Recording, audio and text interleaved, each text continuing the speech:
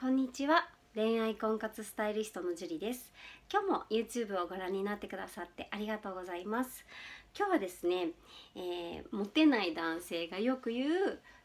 NG ワードについてお話をさせていただきたいと思います。よくですねまあいろんなね私も相談を受けるんですけれども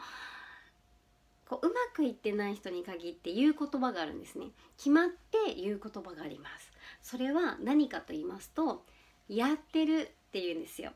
それやってます。自分はそれやってます。でこういう風にしてみたらどうですか？やってます。ね、でやってます。できてますってね言うんですけれども例えば何かテクニックね。じゃあ例えばね昨日お話ししたようにペースを合わせるようにしてくださいって言ってでペース合わせてます。食べる速度合わせてますって言うんですけどやっぱりねやってる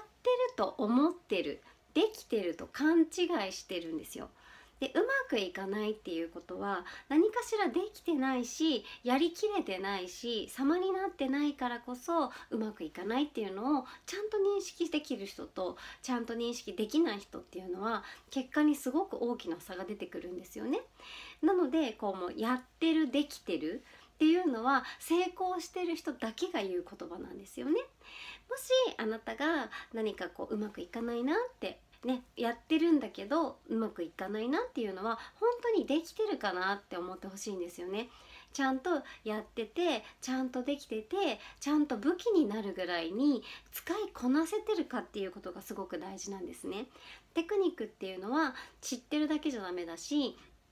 やらなきゃダメだしやってもやちゃんと使いこさこなせてなければ意味がないのでちゃんとできてやまずは知ってるそれが知ってることをやってるのかやってるのかやってることがちゃんと様になってるのか武器になってるのかっていうそのねステップを踏んでいってもし何かあなたがねうまくいかないなっていうことがあったらちょっとねこうやってることに対してちゃんとねもう使いこなせてるかっていう原点に戻っていただきたいと思います。そうするだけでね本当に結果っていうのは変わってきますので是非原点に戻ってみてください。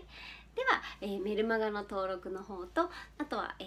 ー、LINE のお友達の登録がですね、えー、コメント欄の方に方法が書いてありますので、えメルマガ LINE のお友達そして YouTube のチャンネル登録の方お願いします。ではここまでになります。ありがとうございました。